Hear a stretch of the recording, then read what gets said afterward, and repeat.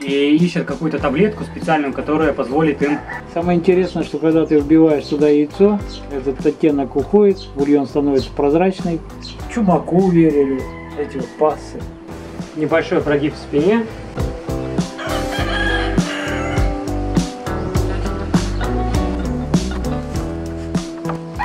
Сейчас мы будем готовить полезный суп. А, Я расскажу про ингредиенты. А, Это яйца, это источник белка, клетчатка, это окра и имбирь. Имбирь это, естественно, для поддержания иммунитета. Значит, чем... А, и самый интересный ингредиент это малангай, листики. Ну, можно сказать, что он а, содержит такие вещества, как антиоксиданты, да, антиоксиданты, и еще к тому же он имеет регенерирующие свойства. Окра, помимо того, что это источник клетчатки, э, она имеет а, в составе слизь, которая благотворно влияет на лечение язвы, гастритов. Поэтому, если вы будете ее есть, у вас э, будет меньше шансов э, иметь какие-то нехорошие последствия от этого. Я имею в виду от язвы и от гастрита. Итак, начинаем процесс готовки. Первым делом я наливаю воду. Примерно так. Немного. Потом закидываю туда окру. Она будет вариться недолго, минут 5 всего. И джинджер, то есть имбирь. Он варится столько же, даже если он и будет хрустеть на зубах, хуже от этого не будет. Добавляю соли. Ну, где-то вот столько пока. Потом уже... Нет, надо еще. Потом можно будет добавить. Включаю огонь. Ставлю его чуть больше среднего. Ну и накрываю крышкой. Первый этап завершен. Дело в том, что здесь сквозняк, и мне приходится ставить защиту, чтобы, ну скажем так, не задувало. Вот и все. Чтобы не терять время, э, сейчас можно взбить яйца э, для того, чтобы потом вылить наш суп. Ничего с ними не будет, если они две минуты постоят. Я потом их еще подмешаю и вылью. Есть один такой ингредиент интересный. Я даже не знаю, что это за лист. Я искал лавровый, мне его сучили. Оказался он не лавровый лист. Но иногда я его добавляю. Сейчас вот стал добавлять в эти супы свои и скажу, что я, может быть, даже выиграл. У него такой привкус интересный. Похоже немного на, ну, что похоже, на маринованные грибы. Ну вот, все. Яйцо взбито, пускай стоит. Имбирь в супе имеет очень интересное свойство. Он бульон делает мутным таким, ну как, как будто он грязный такой, сероватый оттенок. Самое интересное, что когда ты вбиваешь сюда яйцо, этот оттенок уходит, бульон становится прозрачный, и все встает на свои места.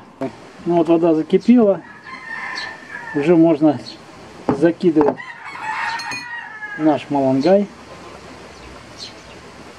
Просто кидаешь его, ни о чем не думая.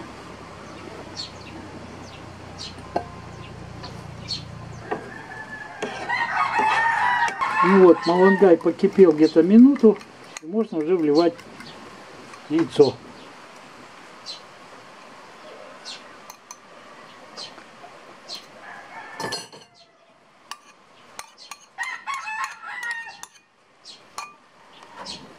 И помешать. Чтобы белок с желтком разошелся, не было больших сгустков. Сейчас закипел наш малангай, можно его выключать и закрывать крышкой. Все. Суп готов, пускай стоит. Можно сразу есть.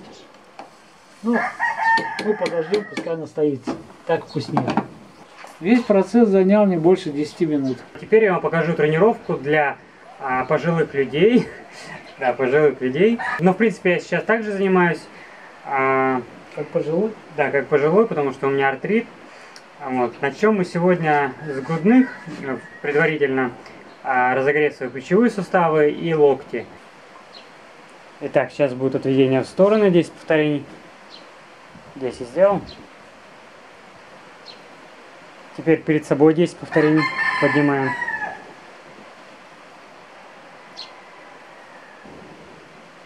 Так, теперь поднимаем полностью руки над головой. Оставляем их в этом положении. Стоп. Опускаем вниз и поднимаем, выжимаем. Да, так делаем тоже 10 повторений. Так что 10 повторений сделали. Теперь зафиксировали в этом положении. И очень плавно, медленно вниз. Идем сюда и назад. Вперед, назад. Да, так у нас а, ротаторная манжета прорабатывается. И риск травмироваться потом будет меньше. После этого опускаем руки вниз, сгибаем, вторую также сделаем, переворачиваем и отводим локоть в сторону. Ой, руку, да, руки в сторону, вот, таким образом. Вращай, вращай. Не надо сильно это делать, просто вращай потихонечку. и всё. Сделал. Все, молодец. Все, давай сюда. А, Итак, вот мы размяли наши дельтовидные мышцы. Теперь, в принципе, можно просто поотжиматься немного, либо уже прийти э, к жиму. У нас есть тут самодельная штанга, э, самодельной штанге, э, к жиму лежа. Самое главное в этом упражнении это делать его плавно. Сводим лопатки, небольшой прогиб в спине и кладем на нижнюю часть грудных, то есть чуть-чуть под грудь. Вдох, выдох. Вдох, выдох.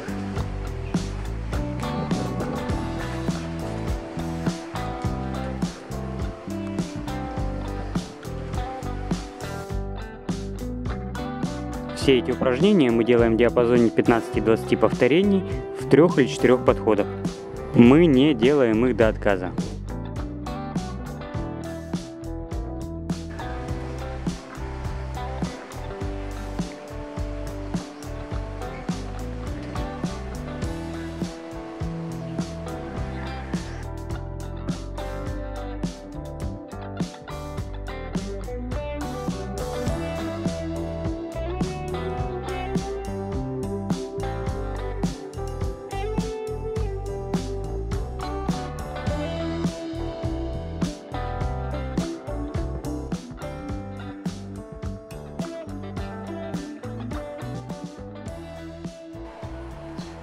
Да, суп достаточно интересный такой, необычный. Ты попробуй его Он, сначала. он, он вязкий, да? Да. Причем имбирь он разварился, да? Да тут все разварилось. Он просто настоялся. Вот. Так, такой суп надо есть, в принципе. Сил больше будет. Мгм. И в то же время он как бы не дает лишнего веса холестерину. Я, например, ну, скажем так, не молодой, но поел, вроде нормально, чувствую себя. Чувствуешь себя хорошо. Да, и форму можно держать. Да.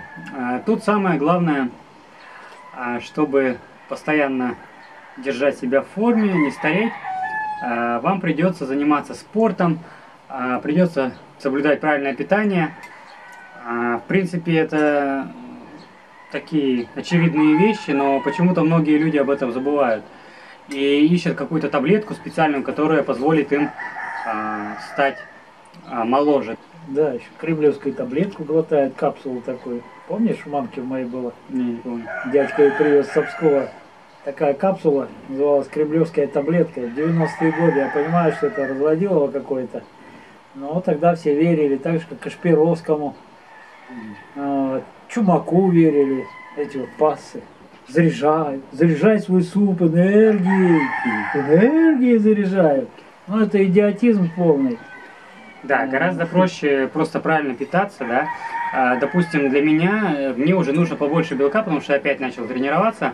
Мне нужно где-то м, 2 грамма на килограмм веса. Это где-то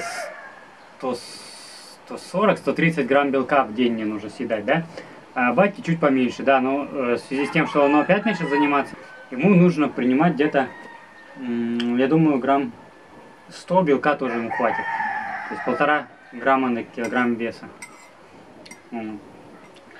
Если вы будете есть такой суп, те, кто находится на Филиппинах, потому что если вы находитесь в России, то малунгай можно заменить чем-нибудь, какой-нибудь другой травой. Например, взять обычный салат, еще что-то в этом духе, да? Пекинскую Вы- капусту. Вы получите больше клетчатки, а, витамины и, в принципе, будете себя чувствовать хорошо. Поменьше плохих жиров и побольше качественного белка. Да, поменьше консервы ешьте. Лучше вот так вот зеленки наварил и поел. Потому что ешь консервы, хрен знает, что туда напихали помимо рыбы. Хоть и написано томатный соус, но мы все знаем, что могут написать на сарае, например. Из слова известно, из трех букв, а там дрова лежат. Вот и верь.